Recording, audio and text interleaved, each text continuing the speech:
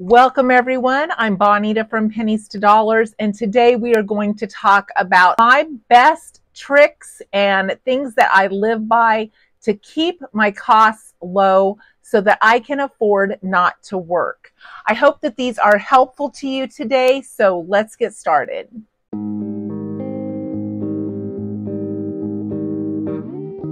If you don't know me, I'm Bonita. I live in rural Kansas and I retired at the end of October. I say retired because I quit my job without having another job and I wasn't planning on going back to work at a full-time job.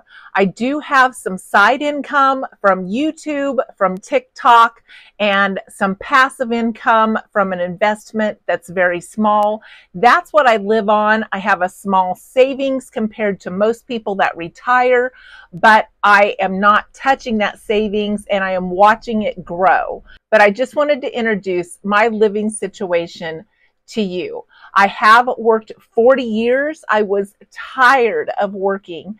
And so I started really defining and tweaking all of the ways that I was saving money in my home and in my life so that I could get the maximum benefit for my dollar. So grab your drink. Let's sit down and discuss it. I made an iced coffee today at home because I have figured out how to make one where I like it better than any of the coffee shops. And so that saves me money. Plus, I'm an hour from a coffee shop one way.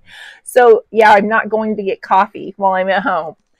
But let's talk about the ways. Now, I have notes here because I don't want to leave any of them out. I feel like they're all super important. So I hope that they can maybe shed some light for you or give you some ideas, maybe spark an idea for you on how you can save money in your own living situation. The first one is a very simple one. We DIY everything we can. We do it ourselves while we're still able to do it ourselves. We mow our own grass. We do all of our own painting. We wash our own vehicles. We don't have a club car membership or anything like that where you go in and pay monthly so you can wash and vacuum your car. We drag the vacuum out into the yard, plug it in with an extension cord, and vacuum our vehicles. We do every single thing we can ourselves first before we ever try to get anybody else to do something for us that we actually have to pay for. Now, there are a few exceptions to those rules, and I'm going to talk about that. The second tip is to really know where you live. And by saying that, I just spent the last three and a half months in the Rio Grande Valley in Texas. I was living in my RV for the winter. That's one of the fun things that I can afford to do. Now that I'm retired, that was one of my dreams was to winter somewhere other than Kansas where it was warmer. Now, this took me to a whole different environment that I didn't know about. I wasn't familiar with the stores, the shopping, some of the foods were different, some of the brands were different. And I spent that three and a half months trying to learn the area to figure out where was the best place for me to shop for certain things?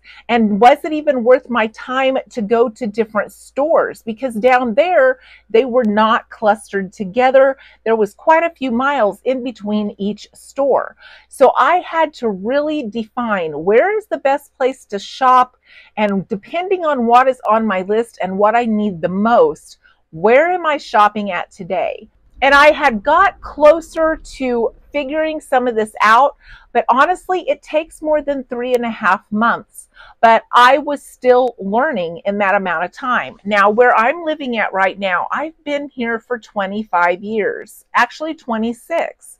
And for the past 26 years, seven and a half of those years, we ran a grocery store.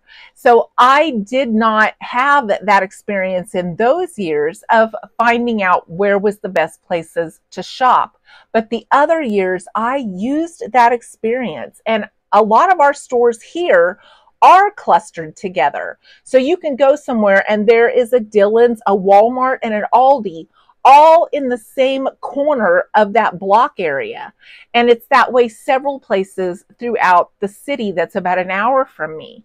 So I have learned which places do I get produce at? Which places do I buy the loss leaders? And I go around like that. And if there's nothing else that I can find that fall in those two categories, then I might go to the third store to get something if it's cheaper. But they're all clustered together, so it doesn't take a lot of effort.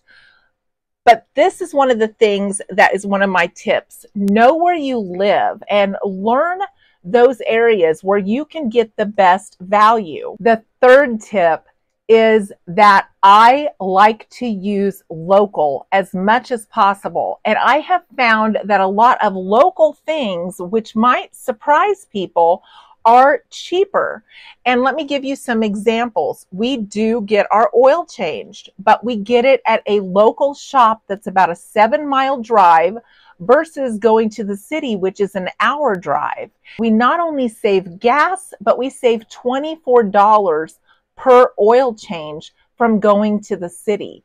That's one of those local hacks and those contact hacks that I'm telling you about now.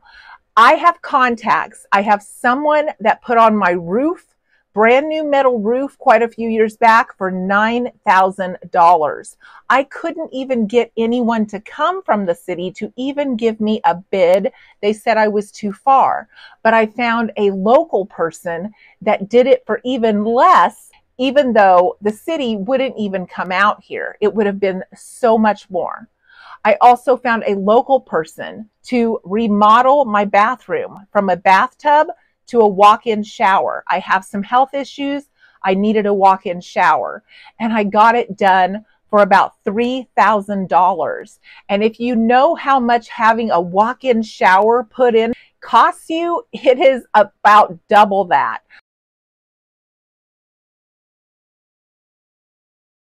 So I know those local contacts. I have local plumbers. We have a local hardware store that will come from about 12 miles away and it will do anything wrong with our well. It will fix any broken pipes in the walls.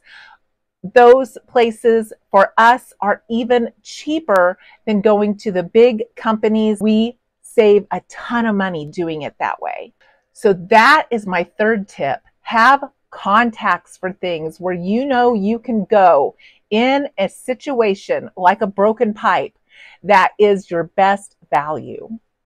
So living somewhere for any length of time actually helps you build on that value because you learn where you can shop, where you can get the best deals, what you can have help with if you can't DIY it.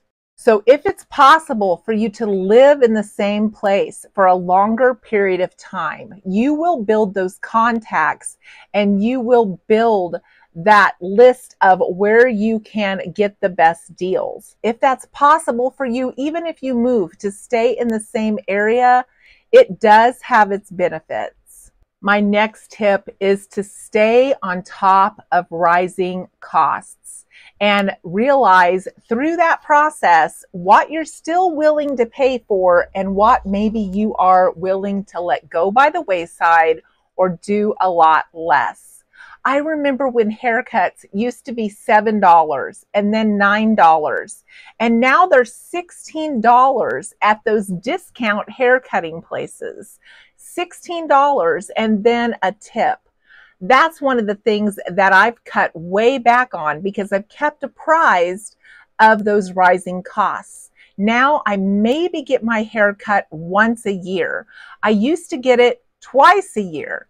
And sometimes before that, I used to get it every quarter. I have continued to cut back on some of those things and trim my hair myself because I don't want to pay double what it used to cost me.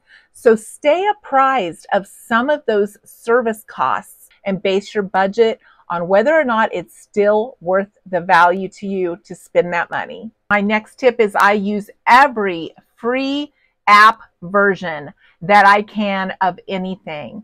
I don't like to pay a monthly membership fee, a monthly subscription fee. We have a Roku box and we only have two subscriptions to Amazon Prime and to Hulu, which cost about $25 a month. I remember when our cable had gotten to $180 a month before we canceled it and started using the Roku box with all of the free apps on there. I also use the free Pacer app on my phone to track my steps. I don't have an Apple Watch or any type of tracking system that costs me money. I use the free version. I use the free version of MyFitnessPal to track my calories. I use the free version of Canva to make my thumbnails for my YouTube. I use the free version of Clipchamp to edit my videos that's on my computer. Anything that is a free version, that is what I pick. Even when I travel, I don't take the toll roads. I have my GPS on my phone set up to avoid tolls, and I take the shortest route that is not a toll road. Tolls have gotten so expensive. We used to drive about three and a half hours to go see my husband's parents, and the tolls would be about $3. Those have also doubled each direction.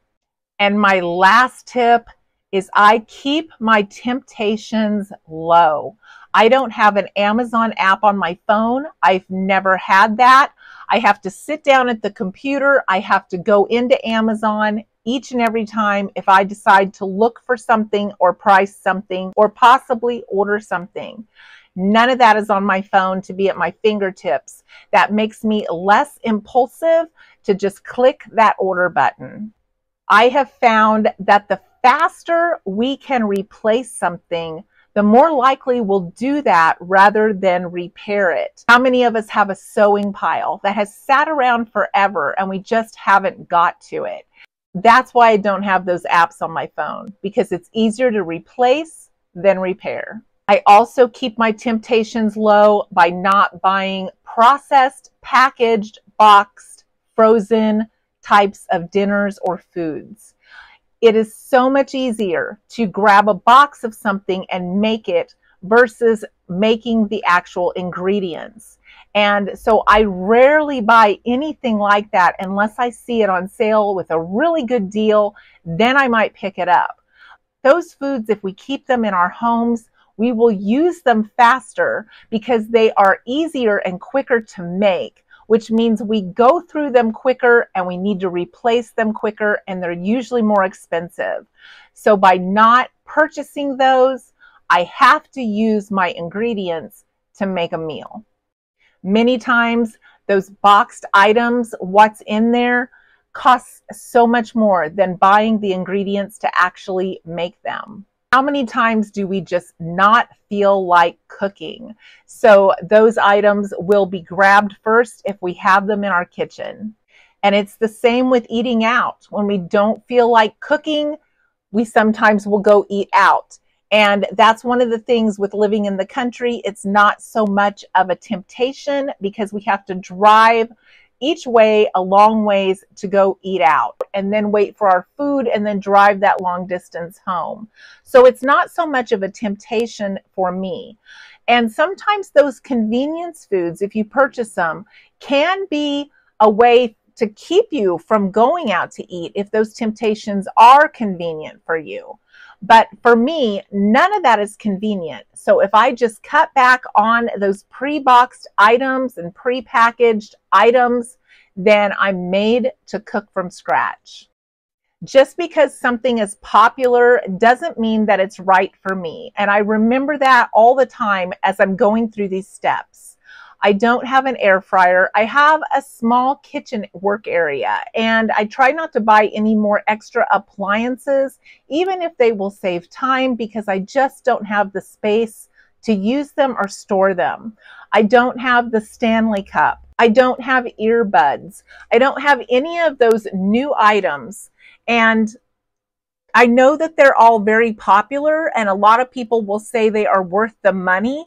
But for me, if I just avoid the temptation and life goes on the way it's always gone on, I don't miss something that I've never had. So I hope that you've enjoyed this video. And if you have, please give me a big thumbs up. I would love to hear your thoughts in the comments and I hope to see you in the next video.